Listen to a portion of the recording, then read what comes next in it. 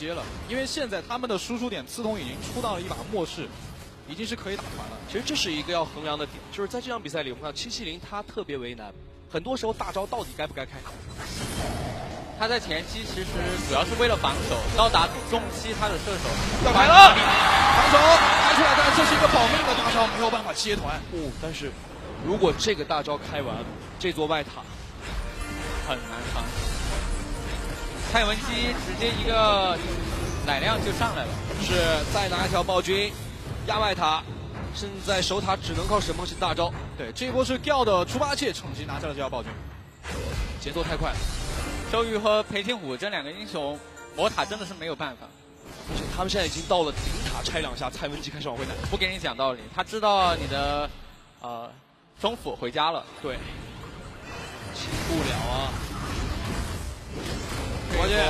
出来大招先照一下，但是后续的输出不够啊，四血塔，对，守不了，掉了，七分三十一秒，七分十一秒。三座外塔全部拆掉，再吃一雷，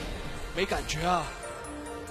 关键现在炸弹猫的一个输出是不够的，中路还被队友分了线，因为队友必须要帮他守中塔。QG 这边其实很想反打，但是张飞的话又没有大招，吕布大招前往塔后跳，前面的话留下猪八戒，段誉再一推，第一滴血拿到一血，总决赛第一滴血，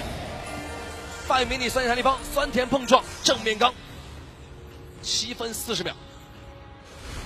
如果这样的话，其实公孙离是没有足够多的发育时间的。这一局比赛到目前为止，给到刺痛的发育时间不超过三分钟。对，